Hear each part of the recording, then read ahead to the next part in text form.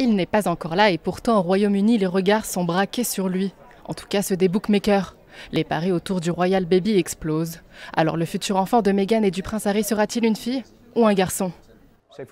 Depuis un certain temps, les paris suggèrent qu'ils vont probablement avoir une fille. Et tout a changé le 9 avril. Ce qui était un petit penchant pour une fille est devenu une véritable tendance. Il semblerait que quelqu'un soit au courant. Des pronostics également sur le prénom. En tête des paris, Albert pour un garçon, Diana ou Elisabeth pour une fille. Un hommage à la mère ou à la grand-mère du prince Harry. Mais ces derniers jours, la tendance semble se dessiner. Bizarrement, Diana a repris les devants et est de nouveau favorite. Environ 85% de tous les paris sur les prénoms sont pour Diana. De l'avis des parieurs, l'enfant est attendu pour fin avril.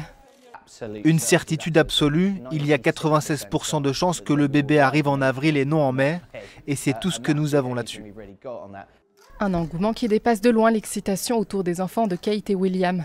Selon le site The Mirror, alors que les naissances de leurs trois enfants avaient généré au total 3 millions de livres, les parieurs ont déjà misé 8 millions de livres, soit 9 millions d'euros sur le futur Royal Baby.